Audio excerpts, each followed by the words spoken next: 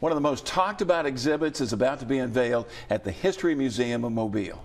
Dressing the Abbey, featuring costumes from the popular TV series Downton Abbey, opening this weekend. And our Lee Peck got the sneak peek today. And Lee, some real surprises for Downton Abbey fans. Absolutely, Byron Lenise. We can't show you all of them, but just let's say uh, if you're a fan of this series, it's a must-see exhibit.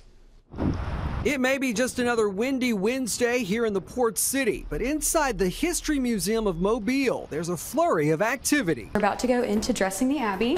Call it crunch time as last minute details are tied up. Okay, we're going to give you a sneak peek of the exhibit. It opens this Saturday.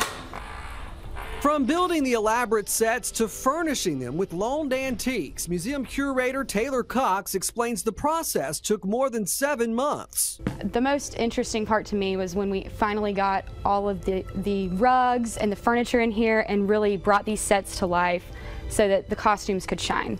35 costumes worn by the actors in Downton Abbey are now in place, depicting scenes from the beloved series.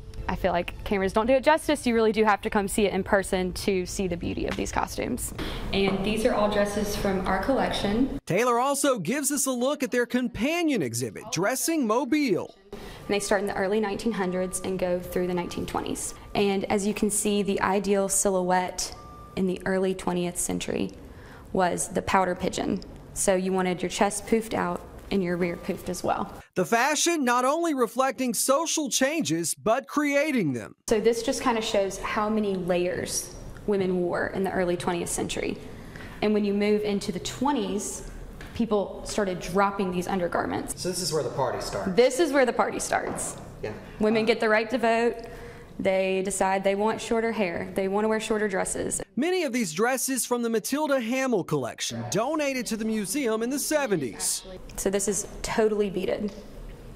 It's a lot of beadwork. It is. That would that would have all been done by hand, which this one's one of my favorite dresses because of that, how intricate it is. We also got a rare behind the scenes tour of where the History Museum stores its most prized possessions. The History Museum's collection of 117,000 objects, only 1% are on permanent display.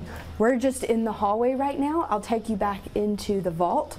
So these rolling racks house lots and lots of objects. Untold treasures from Mobile and beyond. Every oh, this actually is from the same collection that the exhibit um, Dressing Mobile will be showing. This is one of the Hamill dresses but it was not in the best condition, so therefore we couldn't show it. We have some really interesting swords. Trust me, we could have stayed in here for hours looking around. Basket hilts.